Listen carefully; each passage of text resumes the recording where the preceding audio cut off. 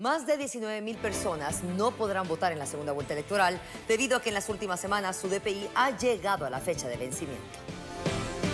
El Registro Nacional de las Personas RENAP dio a conocer que a la fecha 18.824 personas cuentan con un documento de identidad vencido y de acuerdo a la ley no podrán votar en la segunda vuelta del proceso electoral. Es por ello que recomiendan a las personas acercarse a las distintas sedes para poder gestionar una renovación del documento.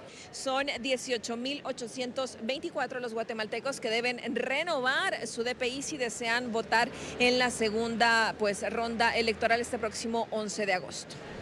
Está en el tiempo para poder hacer una renovación y que el DPI esté antes de ese proceso electoral en su segunda vuelta? Por supuesto que sí, estamos súper a tiempo, estamos de hecho pues contactando a las personas a través de distintas vías, mensaje de texto, a través de llamadas, correos electrónicos, las distintas eh, formas de contactarlos, se les está haciendo ese llamado para que vengan a renovar su DPI y así poder emitir su sufragio. Además existen 154.402 documentos personales de identificación que permanecen en las distintas sedes del RENAP y no han sido reclamados. La institución insta a los guatemaltecos que no portan su DPI a recoger el mismo y así puedan identificarse. Recoger un DPI tramitado hace meses, incluso años, es gratuito y no representa multas.